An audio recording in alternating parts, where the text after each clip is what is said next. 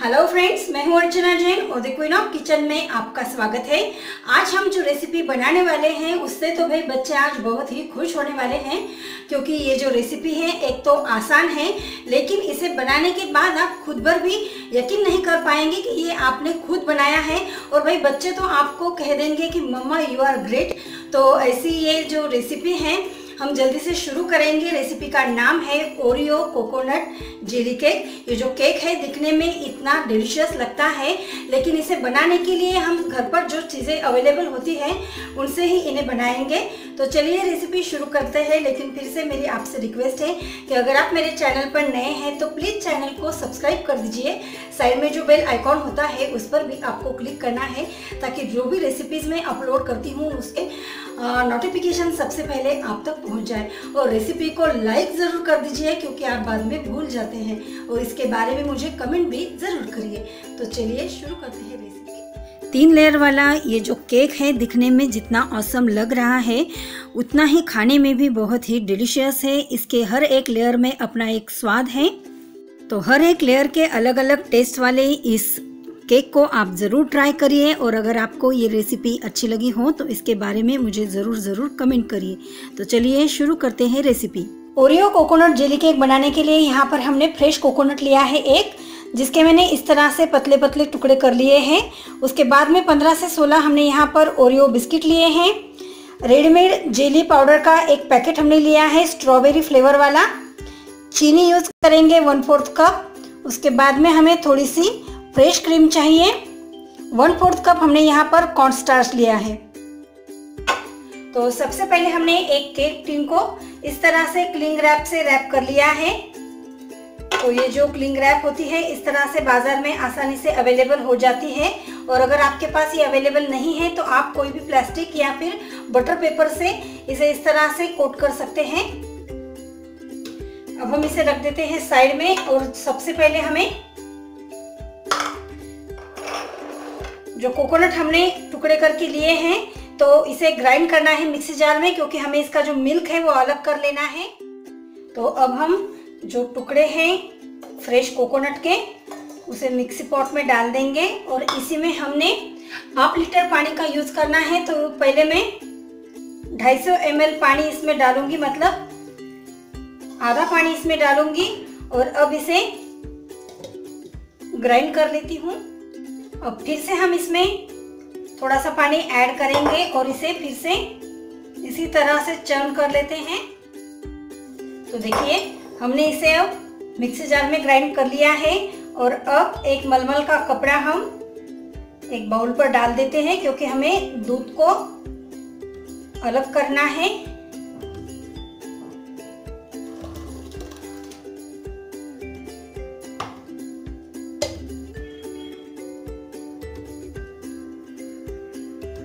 इस तरह से अब स्क्वीज करके हम जो पूरा मिल्क है, उसे अलग कर लेंगे।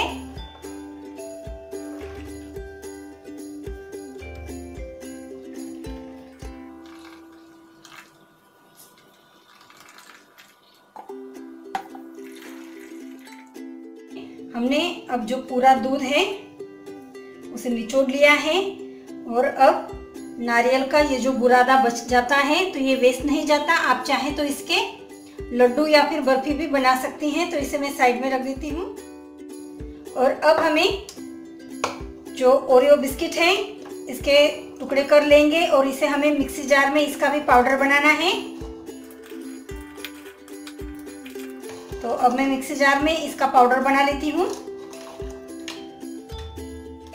अब हमने ओरियो बिस्किट का भी पाउडर बना लिया है तो इसमें ऐड करेंगे थोड़ी सी फ्रेश क्रीम बिल्कुल थोड़ी सी फ्रेश क्रीम हमें इसमें ऐड करनी है।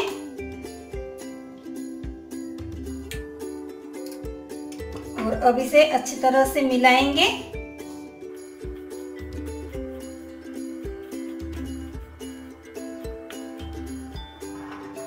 फिर से थोड़ी सी ऐड करती हूँ।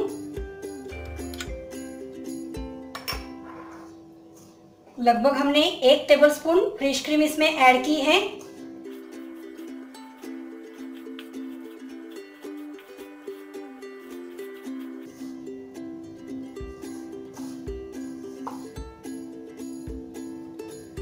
और इसे हमें जस्ट क्रम्बल करना है, इसका डो जैसा नहीं बनाना है इसे। चलिए, अब हम ओरियो बिस्किट के इस मिश्रण को केक टिन में इस तरह से इवनली स्प्रेड करते जाएँगे। और स्प्रेड करने के बाद बिल्कुल हल्के हाथों से हमें इसे प्रेस करते हुए ओरियो बिस्किट की जो बेस लेवल है, उसे तैयार करना है। तो हल्के हाथों से इसे इस तरह से प्रेस करते जाएँगे।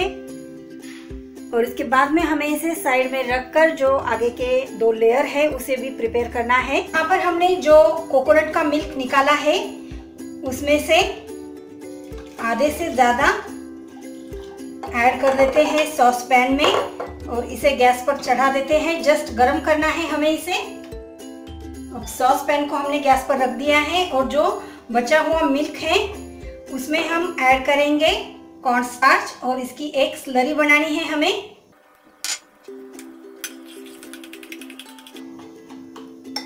तो अच्छे से इसमें मिक्सअप करेंगे। देखिए, अब दूध जो है गर्म हो गया है तो हम इसमें ऐड करेंगे चीनी। लगभग मैं इसमें दो टेबलस्पून चीनी ऐड करूँगी और इसे मिला लेती हूँ।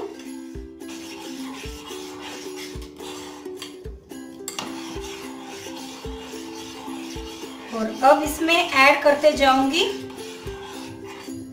चीनी इसमें मेल्ट हो रही है। तो अब जो चीनी है, पूरी तरह से डिजॉल्व हो गई है। अब हम इसमें डालते जाएँगे।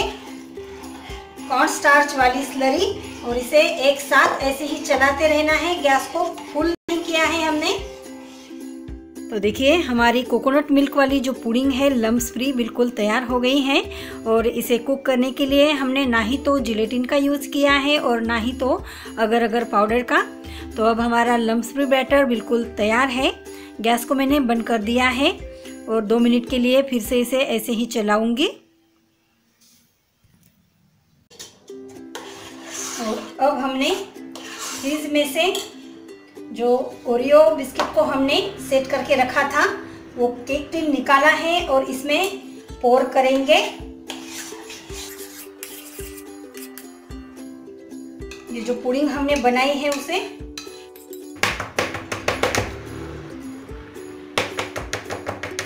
अब हम इसे थोड़ा सा टैप करेंगे और रूम टेम्परेचर पर आने के बाद इसे फिर से फ्रिज में रख देंगे। अब हम पैकेट में से जो स्ट्रॉबेरी फ्लेवर वाली पाउडर है, उसे निकाल लेंगे।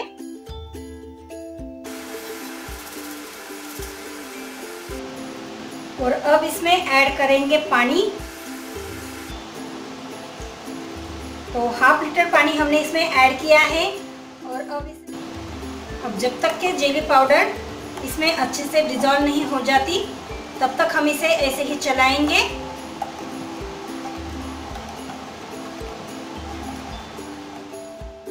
तो देखिए, हमने जेली पाउडर को इसमें अच्छी तरह से डिजोल्व कर लिया है और अब जस्ट दो तीन मिनट तक हम इसे ऐसे ही कुक होने देंगे।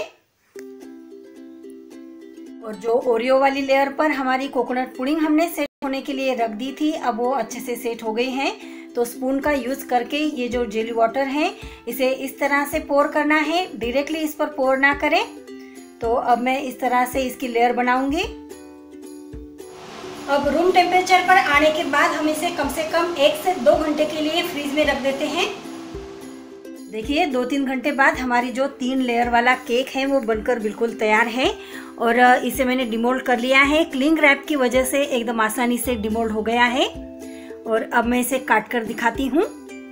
वाओ तो देखिए, तीन लेयर वाला ओरियो कोकोनट जेली केक खाने के लिए बिल्कुल तैयार है। बहुत ही औसम फील हो रहा है इसे काटते हुए। इस डिलीशियस केक को खाने के लिए आपको इसे ट्राई करना है और वीडियो ख़त्म होने से पहले इसे जल्दी से एक लाइक शेयर और कमेंट भी कर दीजिए। और ऐसे ही नए नए रेसिपी सीखने के लिए मेरे चैनल पर बने रहिए। इसके लिए चैनल को सब्सक्राइब करिए।